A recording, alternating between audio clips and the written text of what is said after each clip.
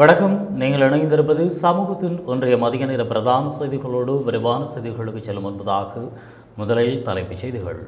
தகாத உறவில் ஈடுபட்ட பௌத்த தேரர் விவகாரம். பெண்கள் தொடர்பில் வெளியான தகவல். பெண்கள் குழந்தைகள் பாலியல் தொல்லை வீடியோக்களை பதிந்தால் இரண்டு ஆண்டுகள் கடூழிய சிறை. இலங்கையர்களுக்கு பேரிடி சர்வதேச அழுத்தத்தால் அறிமுகமாகும் புதிய வரிகள். வட்டி விகிதங்கள் மேலும் குறையும். மத்திய வங்கி ஆளுநரின் அதிரடி அறிவிப்பு. இலங்கையில் மீண்டும் போராட்டத்திற்கு தயாராகும் ஆசிரியர்கள். லண்டனில் இருந்து இலங்கை வந்த சிறுவன் கடலில் மூழ்கி மரணம். தமிழர் பிரச்சினை தொடர்பில் இந்திய பிரதமர் மோடிக்கு கடிதம் மாவை தெரிவிப்பு. வீட்டு உரிமைக்காக இரு குழுக்களுக்கிடையில் ஏற்பட்ட மோதல் இருபத்தி ஆறு பேர் கைது. விபரீத முடிவெடுத்து உயிர் மாய்க்க முயற்சித்த மாணவன் பேராதனை பல்கலையில் சம்பவம். முல்லைத்தீவில் மலசல குழியில் கண்டுபிடிக்கப்பட்ட பெருமளவு வெடிப்பொருட்கள். வெள்ளவத்தியில் வீடு வாங்க வேண்டுமா? கோல் ரோட்டிற்கு அருகாமையில் ராயல்டி கன்ஸ்ட்ரக்ஷனால் கட்டுப்படும் தொடர் மாடி அடுக்குமுறைகள் முன்பதிவுக்கு இன்றைய முந்துகள். நவகமுவ பிரதேசத்தில் பௌத்த பிக்கு ஒருவருடன் தவறான உறவில் ஈடுபட்டு தாக்குதலுக்குள்ளான இரு பெண்களும் நவகமுவ வைத்தியசாலையில் அனுமதிக்கப்பட்டு சிகிச்சை பெற்று வந்த நிலையில் வைத்தியசாலையிலிருந்து வெளியேறியுள்ளதாக தெரிவிக்கப்படுகின்றது. நவகமுவ விகாரையொன்றில் பிக்கு ஒருவரும் இரண்டு பெண்களும் ஒரே அறையில் இருந்த நிலையில் பிரதேச மக்களால் தாக்கப்பட்ட காணொளியொன்று சமூக ஊடகங்களில் பகிரப்பட்டு சர்ச்சையை ஏற்படுத்தியிருந்தது. இந்த சம்பவத்தில் தாக்குதலுக்கு உள்ளான இருபத்தி இரண்டு வயதுடைய பெண் பாதுகாப்பாக போலீஸ் நிலையத்திற்கு அழைத்து செல்லப்பட்டுள்ளதாகவும் தெரிவிக்கப்பட்டுள்ளது. மேலும் தாக்குதலில் காயமடைந்த பௌத்த பிக்கு வைத்தியசாலையில் சிகிச்சை பெற்று வந்த நிலையில் நவகமுவ ஸ்ரீ சுமணராம விகாரைக்கு மீண்டும் திரும்பியுள்ளதாக கூறப்படுகிறது. இந்த சம்பவம் நவகமுவ ஸ்ரீ சுமணராம விகாரையில் இடம்பெற்றதாக செய்திகள் வெளியாகியுள்ள போதிலும் குறித்த விகாரையில் இவ்வாறான சம்பவங்கள் இடம்பெறவில்லை எனவும் நவகமுவ பாதுகாப்பு அமைப்பு விடுத்துள்ள அறிக்கையில் தெரிவிக்கப்பட்டுள்ளது. மேலும் சம்பவம் தொடர்பில் கைது செய்யப்பட்ட எட்டு சந்தேக நபர்களும் எதிர்வரும் பன்னிரெண்டாம் தேதி வரை விளக்கமறியலில் வைக்கப்பட்டுள்ளமையும் குறிப்பிடத்தக்கது. இலங்கையில் பல வரிகள் நடைமுறைக்கு வர உள்ளதாக அரசாங்கத்தை மேற்கோள் காட்டி தகவல்கள் வெளியாகியுள்ளன. அரசாங்கத்தின் வருமானத்தை அதிகரிக்கும் வகையில் இவ்வாறான வரிகள் அறிமுகப்படுத்தப்பட உள்ளதாக தெரிவிக்கப்படுகின்றது. இதற்கமைய செல்வ வரி காணி வரி மற்றும் தோட்ட வரி ஆகியவை முதலில் அறிமுகப்படுத்தப்படும் உத்தேச வரிகள் என்றும் கூறப்படுகின்றன. இது ஒருபுறம் இருக்க இதுவரை பெறுமதி சேர் வரியிலிருந்து விலக்கு அளிக்கப்பட்ட சில பொருட்கள் மற்றும் சேவைகளுக்கு பெறுமதி சேர் வரி விதிக்கப்பட உள்ளதாக தெரிவிக்கப்படுகிறது. சர்வதேச நாணய நிதியம் செலவினங்களை குறைப்பதற்கும் வருவாய் அதிகரிப்பை உருவாக்குவதற்கும் சர்வதேச நாணய நிதியம் அரசாங்கத்திற்கு வழங்கிய அறிவுறுத்தல்களின் அடிப்படையில் இந்த வரிகள் விதிக்கப்பட உள்ளதாக தெரிய வந்துள்ளது எனவே பல வரிகள் மக்கள் மீது திணிக்கப்பட்டுள்ள நிலையில் மேலும் பல வரிகள் நடைமுறைக்கு வரவுள்ளமை மக்களை பெரும் அதிர்ச்சியில் ஆழ்த்தியுள்ளமையும் குறிப்பிடத்தக்கது. இதுவரை குறைக்கப்பட்ட வட்டி விகிதங்கள் மேலும் குறையலாம் என இலங்கை மத்திய வங்கியின் ஆளுநர் நந்தலால் வீரசிங்க தெரிவித்துள்ளார். சர்வதேச ஊடகம் ஒன்றில் இடம்பெற்ற நிகழ்ச்சியில் கலந்து கொண்டு கருத்து தெரிவிக்கும் போதே அவர் இந்த விடயத்தினை தெரிவித்துள்ளார்.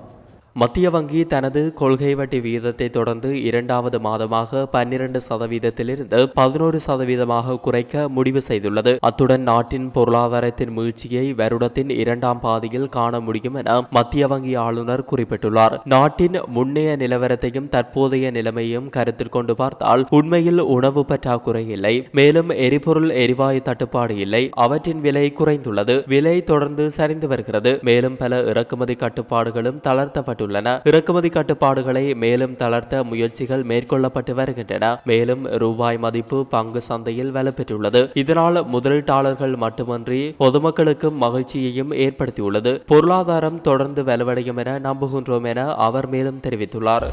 பெண்கள் மற்றும் குழந்தைகள் தொடர்பான சில விடயங்களை வீடியோ எடுத்து சமூக வலைத்தளங்களில் வெளியிடுபவர்களுக்கு எதிராக சட்டம் கடுமையாக அமுல்படுத்தப்படும் என போலீசார் தெரிவித்துள்ளனர்.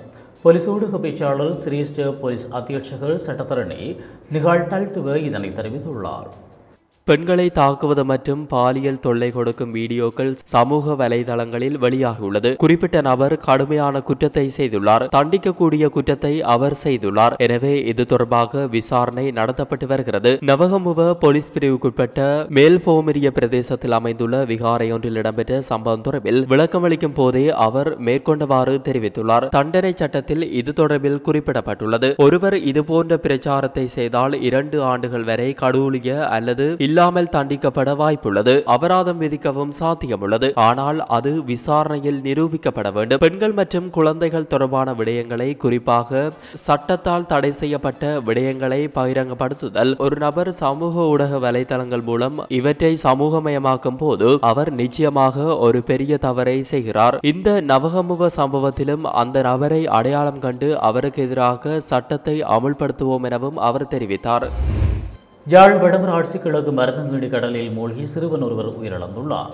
குறித்த சிறுவன் நேற்று முன்தினம் பிற்பகல் கடலுக்கு குளிக்கச் சென்றிருந்த நிலையில் இந்த அனர்த்தம் இடம்பெற்றுள்ளது கடலில் மூழ்கிய சிறுவன் பிரதேச மக்களால் மீட்கப்பட்டு மருதங்கனி வைத்தியசாலையில் சேர்க்கப்பட்டுள்ளார். பின்னர் மேலதிக சிகிச்சைக்காக பருத்துறை ஆதார வைத்தியசாலைக்கு மாற்றப்பட்டிருந்த நிலையில் குறித்த சிறுவன் உயிரிழந்துள்ளார். லண்டனில் இருந்து உறவினரின் மரண சடங்கிற்கு வந்திருந்த குருவரன் ஆறு சென்ற ஆறு வயது சிறுவனே இவ்வாறு உயிரிழந்துள்ளார். சடலம் பிரேத பரிசோதனைக்காக பருத்துறை ஆதார வைத்தியசாலையில் வைக்கப்பட்டுள்ளது. சம்பவம் தொடர்பில் மருதங்கனி போலீசார் மேலதிக விசாரணைகளை முன்னெடுத்து வருகின்றனர்.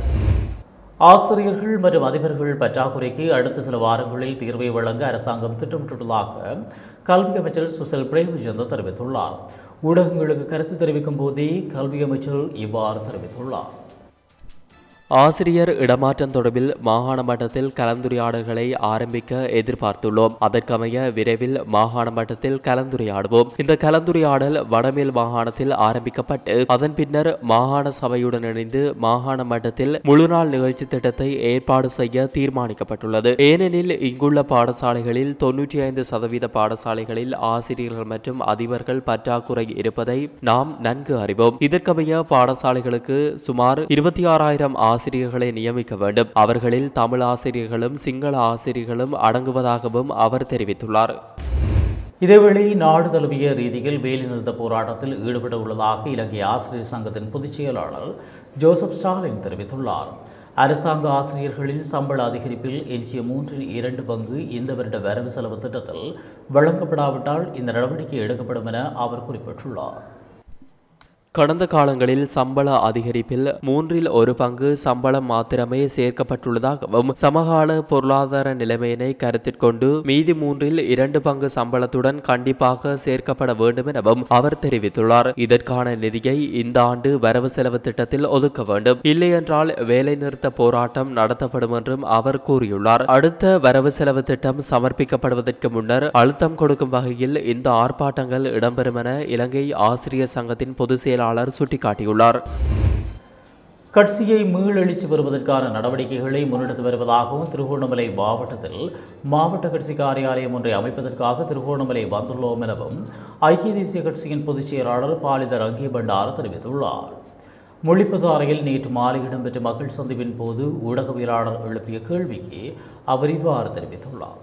கடந்த காலங்களில் எழுத்து மூடப்பட்ட வீதிகள் மற்றும் கடைகள் பால்மா கேஸ் போன்றவற்றை எமது ஐக்கிய தேசிய கட்சி அரசாங்கம் முடிவுக்கு கொண்டு வந்துள்ளது. சர்வதேச அந்நிய செலாவணியை பெற்று இன்று கடன் சுமையிலிருந்து மீண்டும் நாடு அபிவிருத்தி பாதையில் பயணிக்கிறது. அது மாத்திரமல்ல நாட்டின் வருமானத்தை அதிகரிக்க பங்குதாரர்களை கொண்ட வங்கிகளால் இன்று வட்டி வீதம் குறைக்கப்பட்டு முன்னேற்ற பாதையில் சென்றுள்ளது. சிலவற்றை எதிர்க்கட்சி பழி சுமத்தி எந்த பயனுமில்லை மக்களை திசை திருப்பி கோழையாக்க எதிர்க்கட்சி சதித்திட்டம் தீட்டி வருவதாகவும் அவர் தெரிவித்துள்ளார்.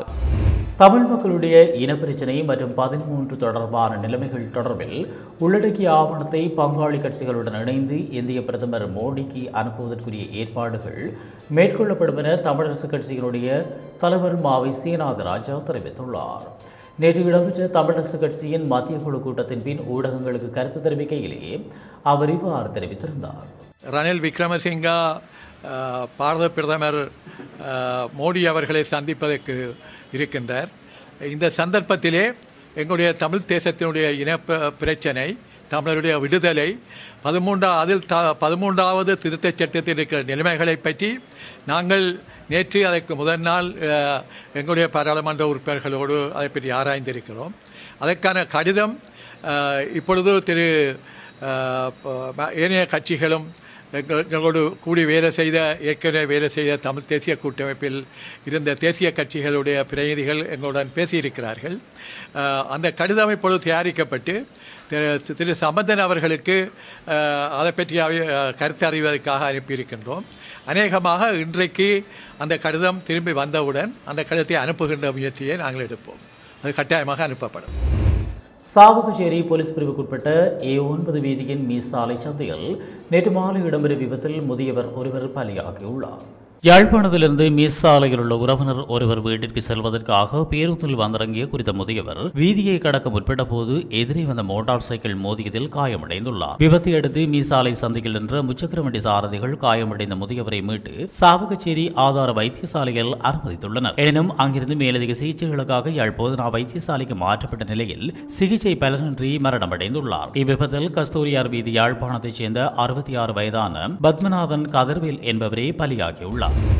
சவுதி அன்பளிப்பு செய்த நுரைச்சோலை சுனாமி வீட்டு திட்டம் விடயத்தில் அரசாங்கம் எந்தவிதமான காத்திரமான நடவடிக்கைகளையும் எடுக்காது பாரமுகமாக செயல்படுகிறது என திருகோணமலை மாவட்ட ஜமச பாராளுமன்ற உறுப்பினர் இம்ரான் மஹ்ரூப் சபையில் குற்றம் சுமத்தியுள்ளார். பாராளுமன்ற அமர்வில் கலந்து கொண்டு அவர் மேலும் கருத்து தெரிவிக்கையில் இந்த நுரைச்சோலையிலே காணப்படுகின்ற இந்த சுனாமி வீட்டு திட்டம் இதுவும் பரவலாக பல காலங்களாக பேசப்பட்டு கொண்டிருக்கின்ற ஒரு விடயமாக காணப்படுகின்றது.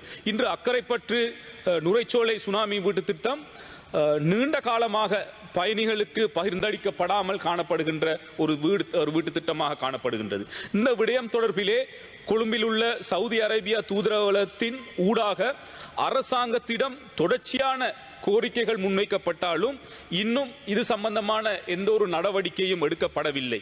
எனினும் இந்த விடயம் தொடர்பிலே இலங்கை அரசாங்கம் ஒரு தீர்த்தமான ஒரு முடிவை வழங்க வேண்டும் என்பது எங்களுடைய ஒரு எதிர்பார்ப்பாக காணப்படுகின்றது.